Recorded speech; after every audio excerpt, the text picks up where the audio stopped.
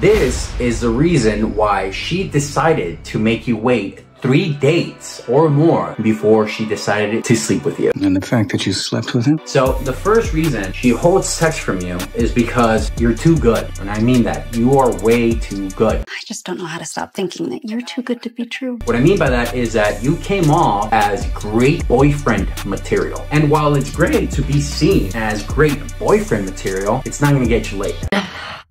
Need to get laid. And so why does this happen? Because girls tend to need a very good mix, a decent balance between sexual attraction and comfort. Once a girl has those two things, that is a perfect combination for her to sleep with you on the first date. Now let me tell you what I mean by that. A lot of you guys that are just being seen as boyfriend material, what ends up happening there is that you put too much comfort and not enough sexual attraction, not enough attraction in general.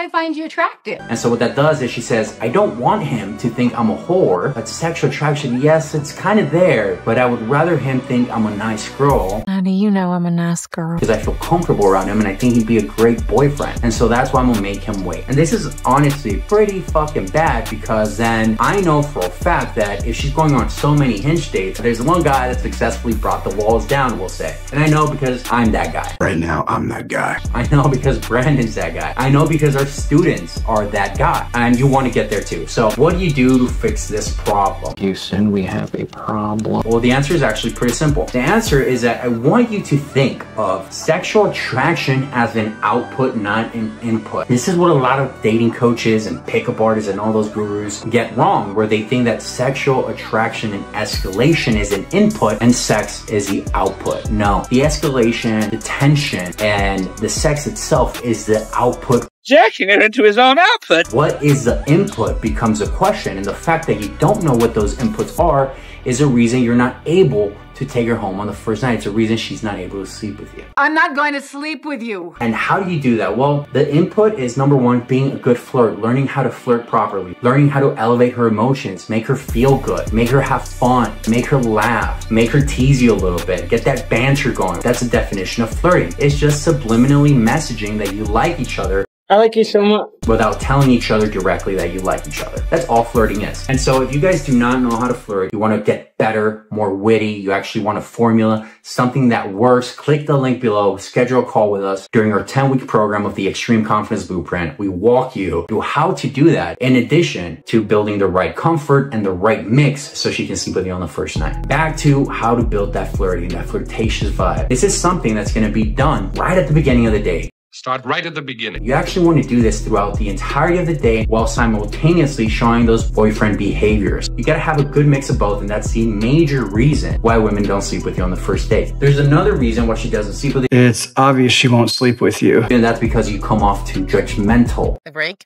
Yeah, no, I'm not judging you. I'm not the judgmental type at all because I could care less, frankly. I'm only gonna judge if I'm planning on marrying the girl because a judgment is required to make a decision. I don't care who you are, but you do have to make that judgment. During a first date, I don't judge at all because I don't even know I'm gonna marry the girl, so I truly don't judge her at all. If she tells me she slept with, you know, 10, 20 men, that's on her, I don't care. That's on you, Fuller. Vice versa, if she slept with five men, one man, two men, I'm not gonna judge her for it, right? I'm not there to judge at all. I'm there to get to know her. And if something else happens, then it happens. As simple as that. But a lot of you guys get really judgmental with her. And because you get judgmental, she decides not to sleep with you. But I didn't want any problems, so I decided not to sleep with him. She wants to feel zero anxiety. She doesn't want to feel like a whore. At least not out in public. Behind closed doors is a whole different topic. But at the beginning, she just doesn't want to feel like that. So that's one reason. This is the perfect segue to reason number three. And reason number three is that she doesn't feel comfortable. You don't seem too comfortable. I've never met a girl before that doesn't feel comfortable before she sleeps with me. She's gotta feel comfortable, guys. Think about it. She's making a decision to go home with a stranger How could you be so stupid to confide your feelings to a stranger?